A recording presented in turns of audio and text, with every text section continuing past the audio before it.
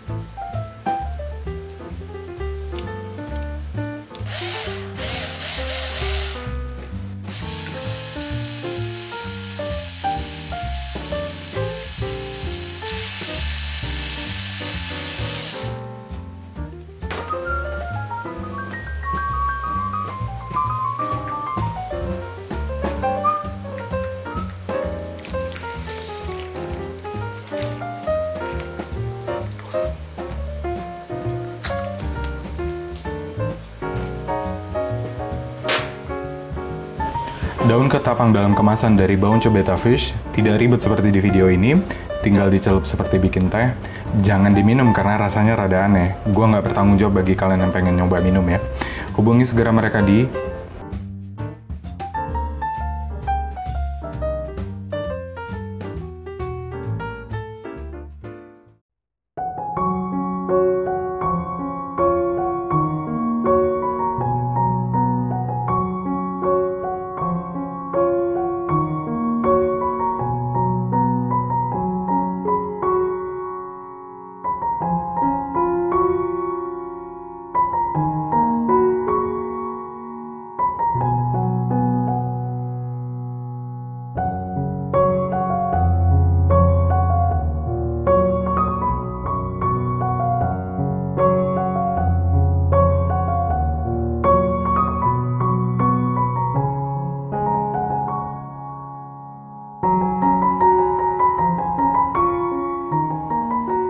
Sebagai peternak dan penjual, kedua anak ini sering banget bersuara kritis.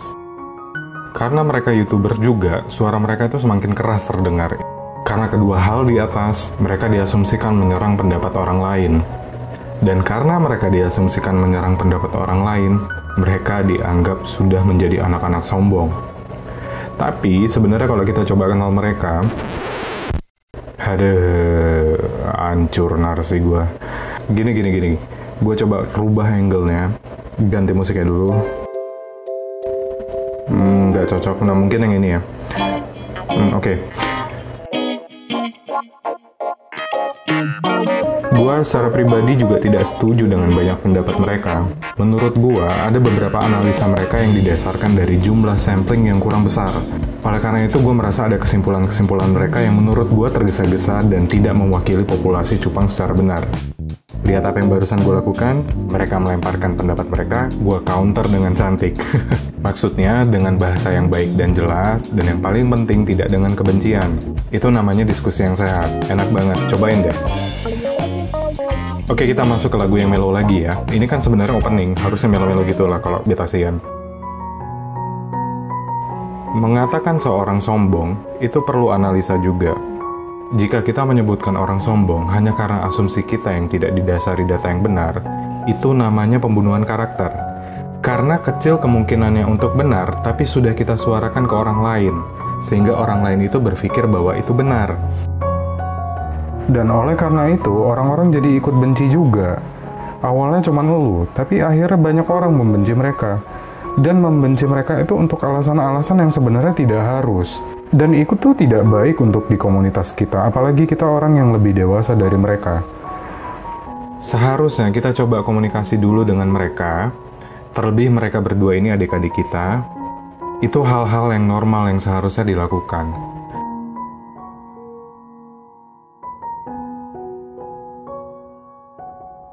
Di video ini gue bukan mencoba meyakinkan siapa pun, video ini tidak dibuat demi pihak mana pun. Video ini murni demi rasa ingin tahu gue terhadap siapa sebenarnya Becis, Bedul, and Encis.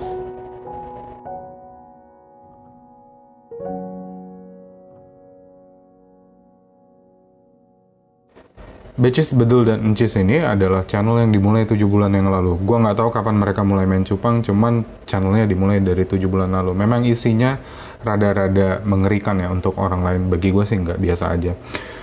Jadi bagi teman-teman yang sakit hati pertama ya, gue ajarin buat kalian semua. Sebelum lo memusuhi seseorang, lo harus ukur dulu kemampuan musuh lo. Jadi lo nggak salah pilih musuh, lo sanggup nggak ngalahin mereka. Pertama kalau gue perhatiin adalah dari video-video mereka semenjak awal gue tonton itu adalah videonya itu terkesan random bagi banyak orang. Bahkan banyak yang banget yang mengatakan mereka itu nggak jelas. Sebenarnya dalam kerandoman video mereka itu justru menurut gue sangat teratur. Pertama dibuka dengan apa yang mau mereka bahas, kedua mereka bercanda-bercanda, tapi tiba-tiba dari bercanda-bercandanya itu mereka tarik lagi langsung masuk ke topiknya. Lalu mereka bercanda-bercanda lagi, lalu itu. Jadi itu sebenarnya tetap aja pembuka, ada isinya, ada penutup. Cuman mereka kemas terkesan random yang hebatnya lagi mereka ini bisa bercanda-bercanda-bercanda sampai nggak jelas gitu sampai mengalor ngalor ngidul ke mana-mana. Tapi salah satu dari mereka pasti langsung memasukkan itu ke topik utamanya. Itu pun dilakukan dengan sangat smooth dengan sangat tidak kelihatan dan artinya itu butuh pemikiran yang sangat luar biasa. Lalu yang paling mengejutkan lagi bagi gua adalah itu dilakukan dalam satu kali take Gua nggak peduli berapa kali diambil, cuman dari mulai bercanda sampai masuk lagi ke topik itu adalah satu take yang sangat panjang. Nggak percaya sama gua? Lo lihat sendiri. Mereka ini punya pikiran yang sangat-sangat terstruktur. Dan ingat, kalau mereka bercanda, saling melempar bercandaan, itu artinya mereka bisa saling berpikir cepat. Yang satu ngomong ini, yang satu langsung ngebales. Yang satu ngomong ini, yang satu langsung ngebales. Bercandanya tuh sama-sama tingkatnya. Nggak ada yang jayus, nggak ada yang ini sama-sama nyinyir. Jadi dari situ gue bisa lihat mereka adalah orang yang berpikiran terstruktur dan cerdas. Lu harus hati-hati sama orang begini. Sekarang lu kembalikan ke diri lu. Lu bisa nggak ngelawan orang kayak gitu? Jadi dari awal tuh sebenarnya gue udah menduga-duga ini bahwa mereka ini bukan orang yang tidak berpendidikan. Halo. Eh, Nama saya dari kiri ke kanan lo Eh kalau gua kiri. Kiri gua. Oh, kan Oh, bercanda kan. Begitu deh bang. Oke. Udah. Lanjut ya bang. Halo, halo Babes. Perkenalkan nama saya Abdul Syakir. Kalau di BC saya dipanggil Bedul. Dan saya, Siapa kamu? saya adalah Hafiz Nizam. Saya dipanggilnya Encis. Kita berdua adalah Bedul dan Cis. Cupang Depok. Oke. Cut, cut. Gue nanya dulu kali ya. Sebenarnya background lu, uh, background pendidikan lu apa sih? Waduh, berat nih nanya Iya. Ini berat nih Pak. Kalau background sebenarnya saya dulu itu ke Jerman cuman nggak jadi. Akhirnya saya ke Institut Pertanian Bogor. ke Institut Pertanian Bogor, jurusannya fisika bang. Itu tahun 2010, Angkatan 2010. angkatan 2010. Terus habis kuliah? Habis kuliah saya sempet eh, ngasdos. Habis itu kerja, kerjanya di Bank Permata, investigator senior. Ah, investigator senior. Oke, kalau lu, Cis? Kalau saya pribadi, saya ini adalah MPD, Mas. MPD itu Master Percupangan Depok. nah, saya ini Magister Pendidikan di UPI Bandung. Kebetulan juga dapat beasiswa unggulan Kemendikbud. Yeay, kalah Anda. Terus udah gitu, kalau latar belakang pekerjaan sekarang menjadi dosen. Dosen statistika pendidikan Statistika pendidikan Yes. di di salah satu sekolah eh, tinggi ilmu agama di Depok. Yes, seperti itu. Jadi lo di Cupang nggak full time, yang full time Oh enggak, kalau cupang bahkan menjadi eh, apa namanya eh, job yang utama, yang dosen adalah hobi. side job. Iya iya iya. iya. Tuh, benar kan apa dugaan gua? Yang satu pendidikannya tinggi, yang satu pendidikannya tinggi dan pengajar pula. Jadi em, jadi gua cukup puas dengan hasil analisa gua. Oke. Oke, gue tuh sebenarnya sih pengen tahu. Gue selama ini ngelihat kalian berdua itu, kalian kan anak baru. Di dua dunia kalian anak baru. Pertama kalian itu pemain cupang baru, ya, dan kalian pun em, di YouTube masih baru. Video kalian masih 30-an, nah berbeda lah sama orang yang videonya udah 300-an, ya.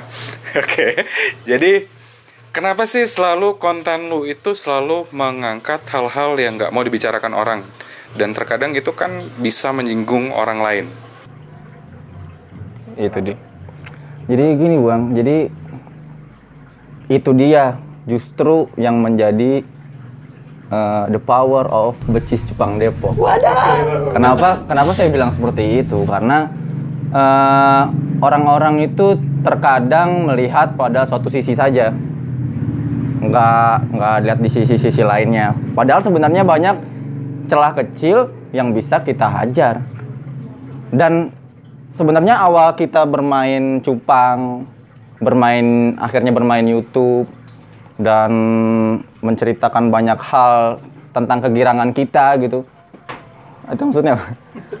Poni lu turun. itu karena kekecewaan kita Cis ya. Jadi awalnya kita tuh kan memang hobis. Kita suka banget sama ikan cupang. Apalagi waktu itu pertama kali yang lu kasih unjuk itu tuh, ingat nggak lu? Yes. Itu wah gila nggak nyangka gua kalau ada ikan cupang di Indonesia ini yang warnanya sangat beragam, warna-warni merah, kuning, hijau, pink, abu-abu, eh, metalik dan segala macam lah itu Yes. dan pas lu waktu itu kasih unjuk harganya segitu gitu gua sampai wah Aku nggak kaget. aku kaget Oh iya lupa. nah Kamu. maksud gua saat saat kita bermain cupang yang begitu indahnya ternyata banyak para pemain cupang juga yang pelit ilmu Hmm. yang nggak mau ceritain apa-apa yang akhirnya bahkan sampai kita di titik kecewa gitu. Yes. apalagi misalkan contoh ada youtuber-youtuber ngasih unjuk oh ini nih guys cupang kita apa segala macam. Atau ada seller-seller yang oh ini guys cupang kita seperti ini. Terus as- pas kita beli pas kita ngikutin metodenya dia wah kecewa berat gitu. Maksudnya kok gue nggak bisa menghasilkan cupang yang bagus juga akhirnya kita belajar sendiri apa segala macam dan kita mau memutuskan rantai itu Hmm. kita mau memutuskan bahwa para pencinta cupang harus menikmati cupang sama seperti kita. Yes. Makanya kita bikin konten yang nggak mau orang ceritain. Eh, yang orang nggak mau ngambil cerita itu. Tapi kan efeknya lu jadi dibenci. Oh, sebenarnya kalau misalnya efek dibenci atau tidak, sebenarnya ini balik lagi ke sudut pandangnya. Kalau misalnya kalian mikirnya ini adalah sebuah hal yang nggak benar, ya dicoba dulu. Tapi kalau misalnya ini akhirnya sebuah inovasi yang ternyata ada benernya dan ternyata kita ini ngebuat sesuatu bukan dari hal yang nggak pernah kita lakuin. Kalau kata RG, fiction. Fiction tuh apa? Fiction dan fiktif itu beda. itu siapa? RG singkatannya. Jadi eh, kita itu selalu memberikan data-data yang faktual. Kadang-kadang kan orang, oh nih coy ada cara ngasih makan burayak pakai perkedel. Nah, Nih coy ngasih makan burayak pakai jangkrik. Nih coy ngasih burayak pakai gado-gado. Nah itu yang menurut kita di luar nalar gitu. Dan kita tuh sebenarnya bukan ngomongin hal yang oh ini jarang dibahas, nih jarang di apa ntar kalau diomongin bakal ada yang tersinggung enggak. Cuman kita tuh ngasih unjuk yang bener tuh gimana. yes. Masa lu mau main cupang tapi cupang lu begitu-begitu? Kan nggak bagus juga ya. Yang pasti karena kita ini setelah menjadi semuanya, kita sudah menjadi buyer, kita sudah menjadi hobis, kita sudah menjadi seller. Nggak mau dong ketika akhirnya kita ada di satu pihak yang pernah mencoba, oh ini kayaknya nggak nggak bener nih, ini kayaknya nggak seru nih. Pernah merasakan semua. Pernah ya? merasakan semua. Akhirnya kita ngebuat suatu hal yang udah kita pernah rasain dan hasilnya memang baik Baik. dan hasilnya juga udah kita rasain. Makanya Kalau kalau kita bilangnya kita itu memviruskan hal yang baik. yes, Karena orang kadang-kadang tuh memviruskan hal yang buruk. betul. Contoh flu, batuk, itu kan buruk ya pak. Nah. Tapi kalau melihara cupang yang indah, gimana caranya beternak dengan efisien, gimana cara beternak menguntungkan, Yes. gimana caranya beternak dengan inovasi, Nah. gimana caranya lu bisa menghasilkan ikan yang bagus, itu kan positif. Terus masalahnya yang benci itu kenapa? Nah, itu Kamu tuh benci kenapa sih? Aku juga nggak tahu. Eh, eh, benci eh. kenapa ya? Ini bukan channel kita. Oh, aku lupa. Kamu bajunya bagus lah. Iya, imitasi Aku ya. nggak dikasih. gitu bang. Begitu bang. Jadi intinya tuh pakai Aku jadi beta Asian dulu Beta ya. Asian. Ya udah kamu jadi beta Asian, aku yang ngurusin becis ya. nggak apa-apa. Habis bang. Nggak bang ya. Ada yang beli kutu air kan malam-malam kan. Nah, kayak gitu. Ada pertanyaan yang lebih susah nggak biar kita bisa lebih berpikir? Gue pengen lu coba coba deh lu bikin jadi satu eh lima kalimat coba tadi. Kenapa lu bikin konten lu anak baru kenapa lu langsung bikin konten yang mengganggu status quo? Status old. Pertama Lima kalimat. satu. Lu dulu lah. Lima Lu dulu gua mikir dulu enak aja lu. Curang nih. Masa kita nggak dikasih mikir ya? Tadi nggak ada di Ada skrip ini, Bang. Aduh, ini Bang. Lima kalimat apa lima kata bang? Lima kalimat. Lima kalimat. Lima kalimat apa lima kata? Kalimat lima pertama. kata kali.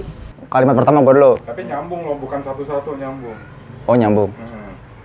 Aduh panjang banget tadi gue ngomong apa Makanya jadi jadi poinnya jadi itu jadi Jadi lebih spesifik. Jadi poin pertama adalah buah dari kekecewaan. jadi lu korban ya. Korban. Saya korban banget bang. Berapa duit saya ngeluarin uang kutu air. Eh apa bukan kutu air dulu mah. Apa? Apa yang lu pakai itu? Eh itu nggak usah kita sebut. Oh, iya. Tolong entar gitu Iya. ya. Karena masih ada yang pakai. Cuma Iya. jangan sampai ke situ. Iya. Yang kedua gua dulu, yang kedua gua. Lu tadi apa yang pertama? Enggak yang tadi kita yang ngomongin tadi diulang lagi. Ya iya, lu tadi ngomongin apa yang pertama buah, Buah dari kekecewaan. kecewaan. Yang kedua adalah kita sudah melakukan semuanya dari apa yang eh, kita lihat dan kita praktekin akhirnya Lu bukan guru agama, eh guru agama. Lu harus kalau bikin kalimat itu SPOK, Pak. Subjek, predikat, objek. kan gue bukan kan ini. Kayaknya sih dikat ini.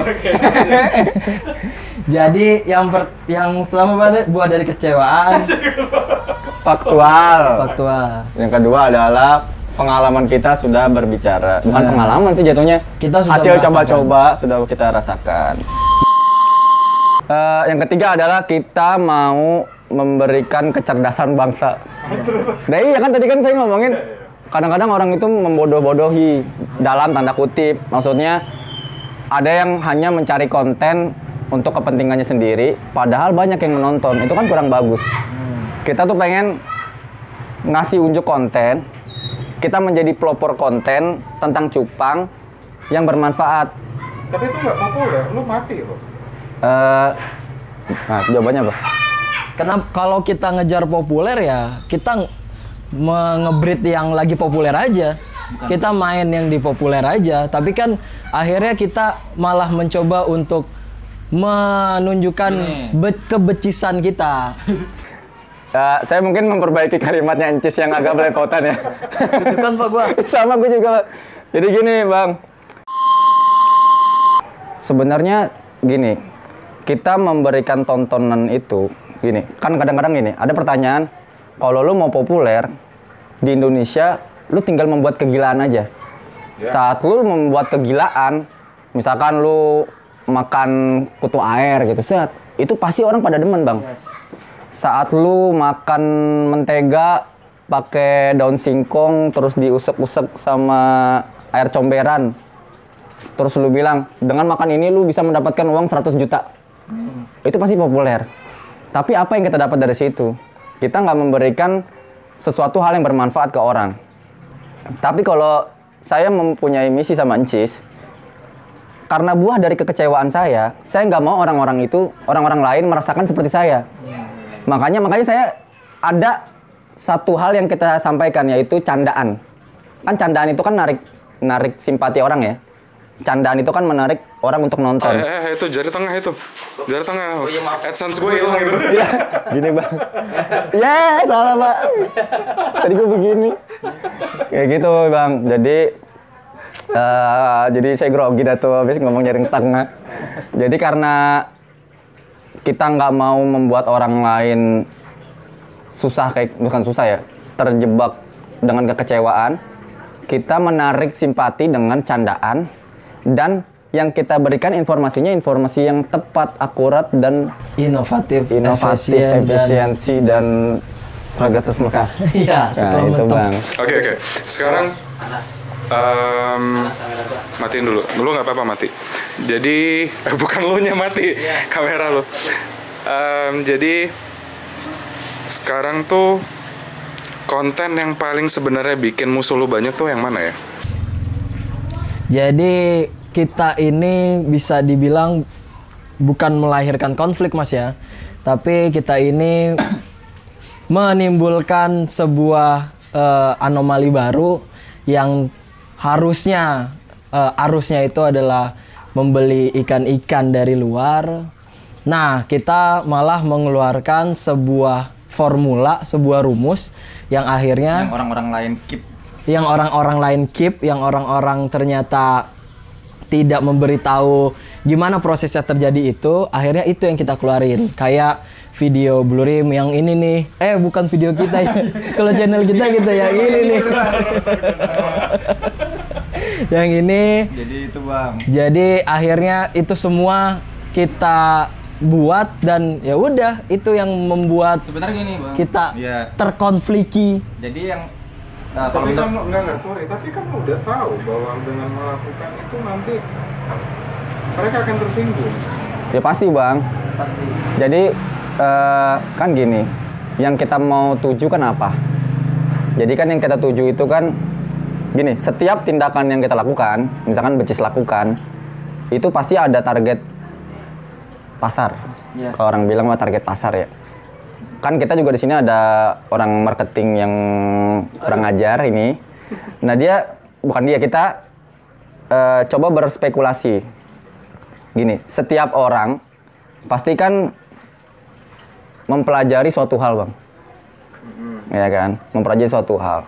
Nah kalau di Bece sendiri mempelajari kenapa kita ngeluarin suatu hal kayak gitu karena di Indonesia itu orang yang konsumtif dan nggak bangga terhadap produk sendiri. Itu poin pertamanya.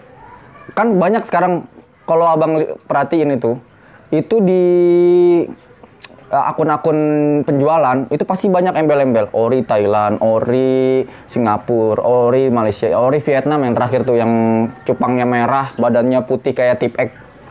Itu kan ibarat kata orang Indonesia tuh konsumtif dengan suatu produk, tapi dia nggak bangga terhadap produk sendiri. Nah, makanya becis itu coba yang lagi disukain apa nih? Blue rim. Oke, gimana? Kebetulan memang kita hoki bang. Jujur aja itu termasuk hal yang hoki. Kita dapetin formula blue rim. Sebenarnya bukan blue rim ya itu.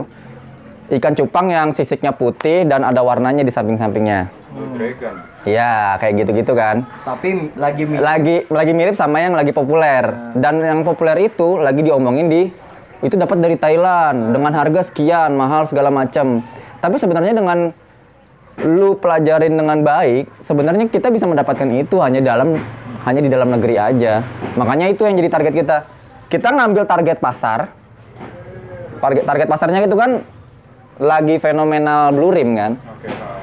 Target pasarnya itu fenomena burim, tapi kita bisa giring opini penonton itu bahwa itu bisa didapatkan hanya di becis. nggak perlu di Thailand. Nah, salahnya di mana? Becisnya mah nggak salah, karena becisnya memiliki inovasi.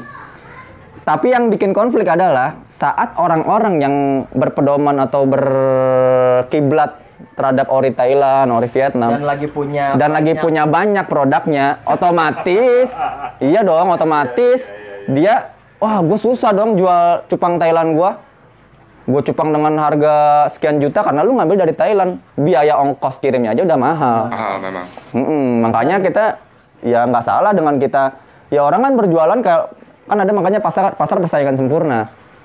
Kalau cupang itu kalau satu, saya kurang paham ya masalah ekonomi. Cuman kalau satu pasar, tapi lu nggak pintar-pintar ngambil simpatik dari apa? Nggak pintar-pintar ngambil permintaan pasarnya, ya dia akan berpusat ke satu doang. Nah makanya becis gimana caranya giring pasar itu ke kita ya begitu caranya. Kita membuat oh kita cupang kita itu lebih wah lebih wah lah pokoknya. Jadi mungkin gua gua rang- bantu rangkum ya. Pertama em, ada kegiatan seller dan breeder, eh seller khususnya yang ingin melakukan penjualan dengan cara marketing gimmicknya adalah line asli negara ini, line Yes. asli negara itu. Yang akhirnya itu sendiri merendahkan produk dalam Indonesia Benar, Betul. Iya. ya kan dan kedua yang gue tangkap dari omongan lu adalah bahwa em, sebenarnya kalau lu mau blue rim atau lu mau tetap ikut kemauan pasar it's okay tapi lu bisa cari kenapa bisa jadi blue rim Nah, karena ketika em, kita sudah tahu bagaimana mencapai blue rimnya tentu untuk mencapai yang lain gampang Mungkin itu kali ya maksudnya becis. Jadi gua rasa kalau ada yang sakit hati sih gua rasa salah juga. Karena gue sebagai hobiis juga merasa memang em, gak usah gitu-gitu banget jualan. Mm. Lain asli, lain asli Thailand gitu. Oh berarti Indonesia punya Indonesia jelek dong ya? nah itu dia. iya Ah, mungkin begitu kali ya maksudnya. Jadi em, itu sesuatu yang harus lo lakukan mungkin. Selain itu sih mungkin kita lebih pengen untuk membuat orang yuk lah kita bikin sebuah strain baru atau membuat line baru. Dan jangan cuma menjadi pengekor strain orang. Karena kalau misalnya kalian menjadi pengekor strain orang saya sebagai buyer lebih pengen mendapatkan dari yang hulunya kan. Lebih pengen dapat dari yang awalnya kan daripada lu. Ya kalau misalnya ngadapen dari elu ya mendingan gua langsung dari awalnya. Apalagi elunya sendiri juga pasti dengan embel-embel yang Thailand lah apalah. Nah itu dia. Dan kami berdua memang membuat becis ini enggak lagi menjadi seorang yang pengekor gitu menjadi seller yang pengekor tapi pengen ngebuat satu buah terobosan kalau ya kita juga bisa lah ngebuat strain baru kita juga bisa lah ngebuat corak baru kita juga bisa lah ngebuat warna baru. Cuma jangan sampai kita nggak ada sama sekali pendidikannya. Maksudnya nggak ada sama sekali oh gue bikin ini. Ya udah lu diem diem aja. Lu cukup eh, nikmatin aja udah. Nah, kita nggak mau seperti itu. Nah, pertanyaannya adalah, lo berarti lu nge- ngebuka formula lu sendiri, nanti lu rugi atau enggak? Enggak sebenarnya, karena di dunia cupang ini bukan cuma untuk uang, tapi juga untuk saling ngobrol, saling sharing. Nah, itu sebenarnya yang pengen kita tuju seperti itu. Bukan begitu, bukan? bukan Bukan. Mungkin tadi terlalu berat kali ya, tapi memang itu harus gue bahas karena em, banyak kalau gue lihat video youtubers lain tuh kayaknya em, yang tersinggung, tersenggol ya. Tapi gue bilang gue pesan gue sih untuk youtubers lain kalian santai-santai aja lah. Kita di sini bareng-bareng. Yes, Ya. betul. Nah, santai. Kalau misalnya ada pernyataan yang menyakiti kalian, mungkin kalian harusnya ke Betasian dulu ya ngobrol. Jangan langsung ke Becisnya.